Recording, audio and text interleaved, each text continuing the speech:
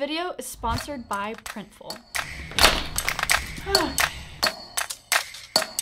it is about to be 11 p.m. at night, and I'm just now starting to pack for a trip that I'm leaving for tomorrow at 5 a.m. Classic Sara, honestly. But when I'm packing a camera bag, the first lens I always choose if not the only one, is a wide lens, a 16 to 35, 17 to 28. This has been a recent favorite of mine. This is the Sony G Master 14 mil 1.8. So you got a little fisheye element. I just love wide shots. Now the 14 mil, that's not the most popular focal length, but the 16 to 35 and similar focal lengths definitely is. And that's what we're gonna talk about in this video because one, well, I'm filming with the brand new Sony 16 to 35 f2.8, which I have been waiting for so long. But also, I just want to discuss the focal length in general and why it's worth it to maybe shell over the big buckaroos buckaroos. Why would I say that? It's late, okay?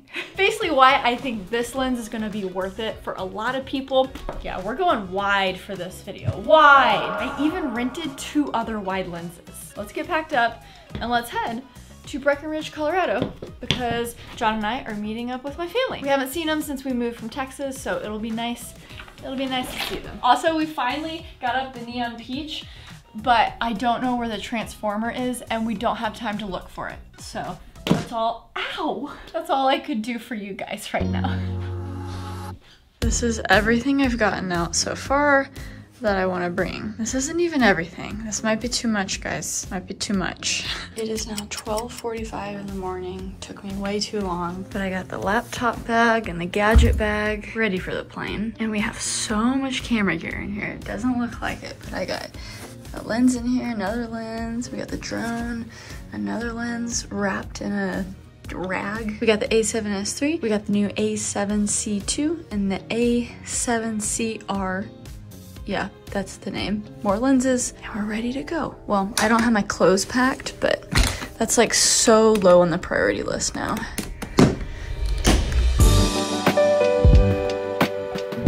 Okay, we just arrived in Breckenridge, Colorado. The weather's beautiful. That's so nice. We've already been doing a little bit of hiking and I have on the 16 to 35 f2.8 G Master 2. So we were talking all things wide lens. I want to just play around with it, shoot you skating a little bit. I convinced my wife to come to the skate park with me. Yeah, it's always fun. it's always fun. We have good construction ambiance going on. Sure. But what I haven't told you guys yet is I rented every single Sony wide lens, so this is gonna be a fun video. I wanna run through all the things. Sounds like a Mr. Beast title. I rented every single... it's only like five or six lenses, but this is already like a, a very quick favorite of mine. All right. Two uh, tricks? Uh, skateboard time.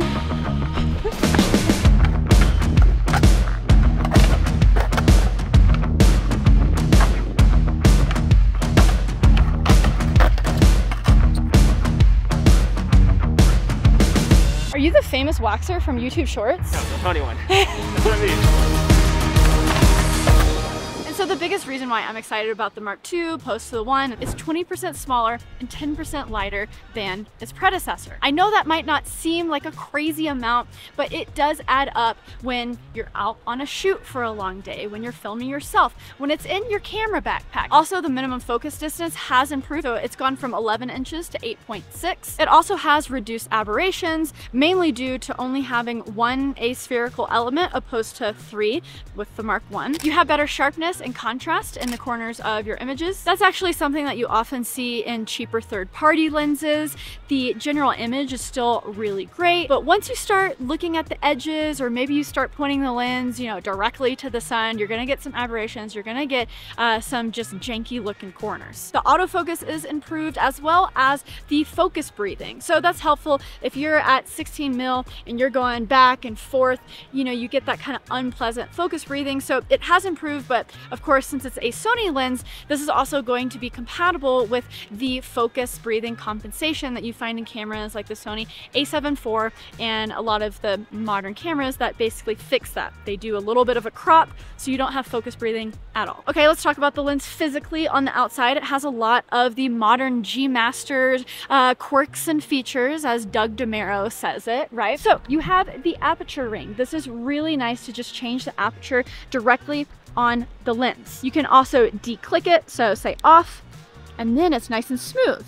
Oh, how nice. This is really nice if you have a camera like an FX6 with an internal ND filter. You can basically go, oh, nice and smooth, change the aperture like that and change the depth of field while maintaining the same exposure with your image. You also have the iris lock, of course, autofocus, manual focus, and you have two focus hold buttons. These are customizable. Of course, it's also dust and water resistant. Resistant, not proof, so don't yeet this into the water or anything. Um, and of course, G Master lenses are going to be better weather sealed than other Sony lenses that aren't G Masters. Now I've been holding this because I've wanted to show you and stuff. I have a few more points, but let's actually switch because we've been filming with the 16 to 35 f2.8 G Master 1 and let's switch to the new G Master 2. Okay, so now we have the Mark II on the camera and Matt behind the camera has already said, oh yeah, wait, this is already looking different. It's looking a little bit better. Uh, we have the same ND filter on the top of the lens, so that hasn't changed. But yeah, that's something that I've noticed when Sony uh, upgrades a lens from five, six years ago. They go from a G Master 1 to 2. The colors are improved. Okay, last thing I wanna mention about this new lens is it has linear response manual focusing. Now, this is really key for you guys out there that do manual focusing. If you use this lens for photography, this doesn't matter a ton. It's mainly for video people. This means when you hop over to manual focus and you wanna focus, say, from here to the trees, right? From point A to point B, and you turn the ring on the lens, you can turn the ring the same distance every time and it's consistently gonna focus from point A to point B. Now, if you didn't have this linear manual response focus, it's just, it's a word salad, the manual focus would be inconsistent every time. It would basically focus depending on like the speed that you turn the ring, um, many other things. And so that means that oh, if you want to hit that same focus point again, if you have that in your brain, I move it this far, you wouldn't be able to hit that point again. Did that make sense? It's one of those things that you know in your brain, but once you start saying them out loud, you're like, I don't know if that, did that make sense, Matt? Yeah. Okay, so I think I covered this new lens well. I still want to talk about something else. But before that, Printful, thank you so much for sponsoring this video. If you guys need to build a beautiful merch store with zero headache, zero risk, Printful is the way to do it. So we're gonna kick it to Sara in LA to let you know.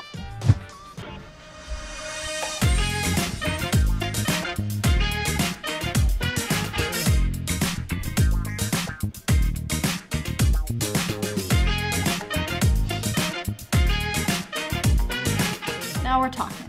I'm sure you've seen this hat, this shirt. Okay, obviously feeling peachy with the neon peach up. I figured that would be good closure for you guys, you know, to, to say that the peach is up, but I didn't have it plugged in in the beginning of the video was just cruel, you know? But now, and then the, the merch, this is what we're gonna talk about because, well, thank you, Printful, for sponsoring this video. Printful is a awesome print on demand service that allows you to create and ship products to customers straight to them without any upfront investment. They have hundreds of premium merchandise pieces that you can choose from, put your design on it. This Stay Peachy trucker hat, for an example, as you can see, has really amazing embroidery on it. So not only can you do basic screen printing tees or direct to garment prints, but they also have embroidery. And why I actually already have all of this merch and some of you guys might have it as well is, well, I've actually used Printful for the past five, six months. I became very intrigued when they announced their integration with Squarespace.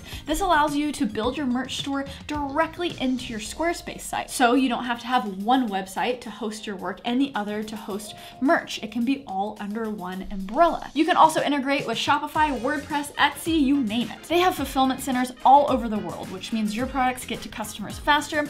And what's great, because it is print on demand, and you don't have to worry about holding a lot of inventory and have it just sitting at a warehouse and you're paying those warehousing fees and you're nervous if you're gonna sell it all. This is just perfect, not only if you wanna get your start with e-commerce, but it's just great all around, even if you already have an audience and you wanna get designing and you want the products out the door because it is so quick and it is so easy to use. And I actually only mentioned this round of Stay Peachy merch at the end of one video because I wanted to make sure that I knew the ins and outs of Printful before I really promoted it. So I think we sent out like 30 or 40 orders and it has gone so smoothly and it's been really fun to just get to know the process, how easy easy it is to just drop a design, pick out the different clothing that you want those designs on. You can get samples with those designs on before you add the merch to the store, which I would highly recommend because for example, this was the first trucker hat and it just didn't fit very well on my head. The top was super poofy and it just didn't have as premium of a look that I wanted. So I ordered a few more samples and landed on this one. Oh my gosh, it fits my head so perfectly.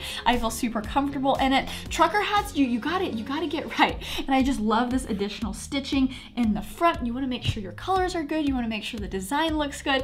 Um, and Printful just takes care of all of that. Okay, I could probably go on and on about this, but hopefully the merch speaks for itself. I have had such a great experience with Printful. So whether you're an aspiring e-commerce business owner, or maybe you're a creator who wants to start making merch and do it without the headache, well, hey, you should start your Printful store today. Again, I highly recommend it. So all the information will be linked in the description below. And well, if you just want to check out the Stay Peachy merch, it's like I said, on my website, saradietschy.com slash peachy merch or stay peachy or merch, one of those. I'm not doing very good advertising, am I? Everything will be linked in the description below. Um, thank you for joining me back here in California, but I'm gonna spin it back to Sara in Colorado. How's the lens going, Sara? Is it going good? This is actually a different lens, so I don't know why I was. Anyways.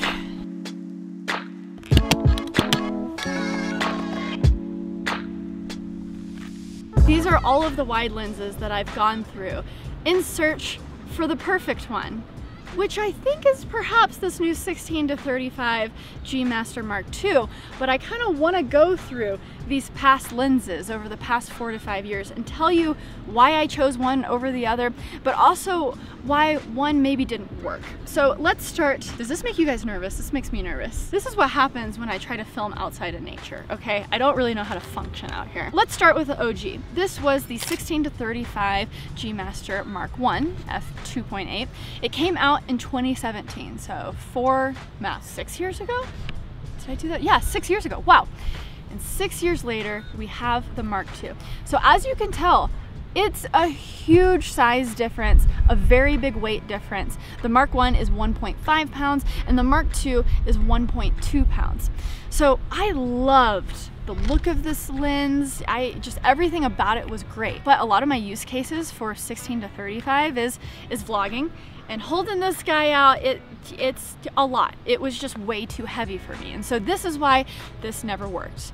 Because of the price. You know, it's like I'm not gonna pay over $2,000 for a lens that I find too heavy and then I'm just not gonna bring anywhere. And then enter the iconic Zeiss 16 to 35 f4. See, back in the day, Sony didn't have just like a infinite list of lenses. So they enlisted Zeiss to make a lot of their lenses. This is the tried and true. I can't tell you how many videos I've filmed on this. You can, you can kind of tell it's beat up. This poor lens, it's been through so, like, how, how do you destroy the Sony logo? And there's scratches, it's, it's been through things. But what was so great about this lens is it was a good size, it wasn't too heavy, but it also had OSS, optical steady shot. So when you combine the in lens stabilization with the active stabilization with some of these Sony cameras, it was just so good for walking and filming, or maybe you're filming something like skating like we did earlier, where it really helps to have image stabilization. So this was just, this very good. Lasts me like two or three years. But you know, I had beaten it up. I can't really put a lens cap on it anymore. And lenses that are f4, you're always looking over, you know, grass is always greener. You're like, I need f2.8. I need that extra depth of field. Oh my gosh, the beautiful bokeh, right? And so this is when I ventured into third-party lenses, which I don't do a lot. So Tamron and Sigma actually have really great 17 to 28s. The Sigma is actually a 16 to 28 and before the Sigma came out is when I was looking for this type of lens so I actually landed on the Tamron. So look how small this lens is. So this is the Tamron 17 to 28 and this lens has been so fantastic for me. The price is great and also it has that f2.8 and I use wide lenses a lot to film tech and gear. So another great thing about this is it has a tiny minimum focus distance. So you can get really close to the stuff that you're shooting and it's just a really cool look. And more importantly, look how tiny it is. About to sneeze. This is what happens when Sara is among green things, okay? And you know, when you're talking image quality, of course, you know, the Sony G Master is probably gonna have some of those uh, aspects beat, but this was just such a good bang for the buck. Again, probably gonna say that a lot, that this was my new lens. So I went from the 16 to 35 f4 to this guy. And it did me well for a long time. But one of the big bummers about third-party lenses, and this isn't the case all the time, but oftentimes the autofocus isn't as good. So a lot of the use cases, I'm vlogging, you know, uh, I'm not behind the camera where I can switch to manual focus. A lot of the times you need reliable autofocus and this would hit it like 90% of the time, but that extra 10% was just like, it was annoying, right? We only got two more lenses, guys. Hang in there with me. And then Sony released this lens. So this is their new 16 to 35. In a way, it kind of replaces this Zeiss 16 to 35 f4 because they're both f4. It's smaller, which is great. But this lens is unique where one of the biggest features is it's actually a PZ lens. So this is where you can actually zoom with your camera. So the FX30s, the FX3 have the rocker on the camera where you can control the zoom with the lens. Now, this is useful for some people, but not for me. So I saw this lens come out. I said, oh great, it has the aperture ring. It has a lot of the modern Sony lens features, but I was like, you know what? Still not for me. I need something better. Enter this. Okay, so this Sony 14mm 1.8 G Master is the most extra lens I've ever used. And I think this is when I discovered, oh my gosh, how wide can I go because I love it. I love wide shots. Um, you know, I used this for some real estate stuff back in Texas. It was just perfect. It was perfect except this is where things got out of hand. I started to film like all of my videos on this. So I would just post up in my house and just, okay, set up the camera on a tripod using a 14 mil lens, 1.8. And I think the novelty of having a super wide lens, but also having crazy depth of field due to the 1.8 is what made me fall in love with this camera and keep using it. But the downside is you're still using a 14 millimeter, essentially like fisheye lens. So when you start getting comments on how like big your forehead is and how your proportions are a little off, like once you start getting those YouTube comments, you're you kind of like, and you know, you're squinting in resolve and you're like, my, my forehead does look pretty big. That's when I had to retire the 14 mil for a lot of shots. And so I still have it for beautiful outdoor stuff and when I want tech to be very immersed in its environment, I still find a lot of use for it. But this led me to my third or fourth dilemma of still not being fully satisfied with a wide lens that can do it all. And so that, my friends, is why I am so excited for this new 16 to 35 G Master 2 f2.8. If you can tell, I'm actually using this to just like talk about gear because if I'm being honest, this channel, if it was fully what I would want it to be and I didn't have to worry about the algorithm, would be me talking just about like camera gear and lenses for hours and hours. I will say I'm seeing a lot of videos complaining about Sony and how they look too clinical. I feel like clinical is a harsh word because I feel like they're basically saying, oh, it's too sharp. Oh, the colors are maybe a little bit too vibrant, which is interesting. Like I haven't heard anyone call Canon too clinical, maybe because they've always had that Canon look, but I would compare Sony and Canon to be very similar. You start with your preference. Some people just love those Canon colors, although I would argue that Sony's colors have become so good. More times than not, when I'm shooting YouTube videos and I don't want to go through my whole like shooting log process, I'll just shoot in standard. Like I sometimes even skip over S-Cinetone because uh, I have a good workflow with color grading with Film Convert and it just looks amazing. And so I've found my workflow with that. Some people do with Canon. One big thing that I feel like Canon is ignoring is the size.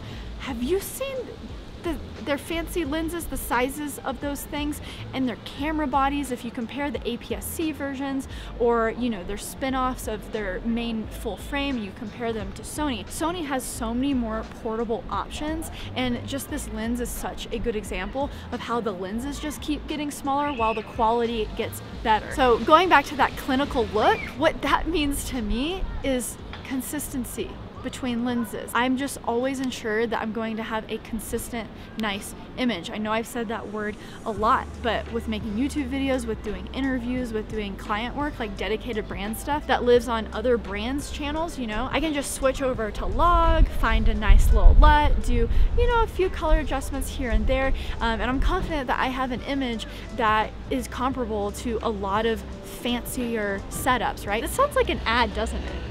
I'm not sponsored by Sony. And so I understand why people are flocking to all these cool anamorphic lenses and kind of some of these third-party manufacturers. It's just, what are you doing? Are you making like vibey short films or like vibey travel films and that's what you're going for? That is fantastic. I'm a big fan of just having a consistent, good look. And if I get my 24 to 70 G Master with a 16 to 35 G Master, I do an A-B cam setup, they're gonna look very similar, right? Okay, so yeah, I've been a little ranty. I'm very passionate about cameras and lenses, right? But if you guys have any questions, or if you wanna make a comment on Sony's look, do you hate Sony? Do you love Sony? Are you a Canon fanboy or girl? Do you shoot Panasonic? Do you shoot Blackmagic? I've had my phases in all of those throughout my, you know, video career and they all do different things really well. And so, you know, to each their own. Maybe have a lively debate in the comments. That's what YouTube is for. But hey, I hope you enjoyed this video. It's been fun to um, be in Colorado with my family. Like, subscribe, stay peachy. Okay, bye.